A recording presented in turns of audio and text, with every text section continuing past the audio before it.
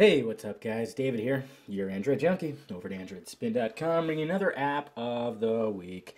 And I got a good one for you guys, especially for you widget heads out there, fellow widget heads. I'm a widget head, love widgets.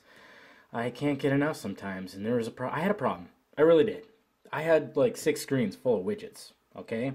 But now I have just one screen right here. This is the only screen I have on my phone and how I was able to accomplish this one screen as well as satisfying my widget addiction are these little icons right here. Now these look like just normal icons, but they are far from normal. Let's go ahead and click this guy right here.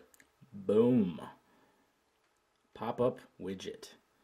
So now I could scroll through and see an RSS feed for technology. Oh, if I want to go on uh, and transfer some files from my phone to my computer with AirDroid, hit that. There we go. There's the widget right there. YouTube takes a little longer. It's got to load up the, uh, the little thumbnails.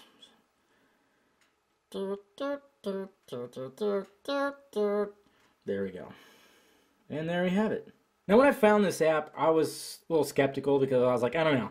I like having my four or five, six screens of widgets I just, you know, swipe back and forth and blah, blah, blah. But as soon as I tried it out, I immediately fell in love. I mean, it's a space saver. I don't have to have all these home screens. I could just have all my pretty little widgets all right here. Like here's, you know, baseball score. Boom. It's so freaking awesome. I'll show you how to use it right here. Let's go into the app. And I passed it. Merp, merp, merp, merp pop-up widget. There we go. All right, and here's a list of all the widgets I have already pre-made. Um, what you're going to want to do is you're going to want to click down here where it says create new pop-up widget. All right, then we got some options here. Gives you the option of which widget you want. And let's see, let's uh, say the analog clock. Okay. So uh, you can also change it too if you didn't mean to choose that one. You just hit that and it'll go right back to it. You know, so simple as that. Um, you got the title. If you want to change, you know, the title, you can do that. Background. You could set the background um, you can have a solid color, color, internal skin, or you can get some more skins from the uh, Play Store. Um, auto close. This is uh, cool. I always like to uncheck this because um, when that widget pops up and then you say you click on something like in your Twitter feed or whatnot, it'll just close the widget. And I really was hating that. Then I realized, oh, I can just uncheck it right here. okay, I like that. So they'll stay. The widget will actually stay on the screen. So when you go back to it, you don't have to reopen it. Um, pop up See, uh, this is kind of cool right here. It gives you the option to uh, which direction you want it to pop up to. I like it screen center. That's what I have. So it just pops up right into the center of the screen. Perfect. I can read, I can scroll through a scrollable widget. It's pretty nice. Um, we got the speed um, of the pop-up, so you can change it. You can have it come real fast, a little slower, a little more fluid.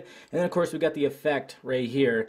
Uh, it starts, it defaults to bounce, which I didn't like. It kind of just, I don't know, I didn't really like it too much. And then you got overshoot. I like uh, acceleration, deceleration. That's what I have. It kind of just, you know, it's pretty cool. And then right here, this is where you can adjust it to uh, your screen settings. So let's see if I can here. There we go. See? Eh, try to look through the whatchamacallit and do it. But yeah, you can adjust it. And I guess it's not really letting me. But yeah, you can adjust the size of the widget that you want. And then as soon as you're done, you hit the back button, and there it's right there on your list. Uh, but you can have the option to uh, trash it if you don't want the widget anymore, or if you want to edit, you can hit the little wrench right there and edit it. Other than that, you just click on it. It asks you, do you want to create a shortcut? Boom. And then we go back to our home screen, which I have the second screen just up for that. And then once you click it, boom, there we go. There's your widget. Simple, easy to use, satisfies my widget needs to the max. I absolutely love this app. I have so many. yeah, even my little calendar. It's just it's so awesome. I really like it. I highly suggest it. There is a there is a free version that has ads. So if you were to you know hit your widget, you'll have like an ad appear up here, which is kind of annoying. And uh, um, the full version is only $1.99, a little two bucks. You know, nothing wrong with that. You can probably open that wallet and pull out those two Washingtons. Not too bad.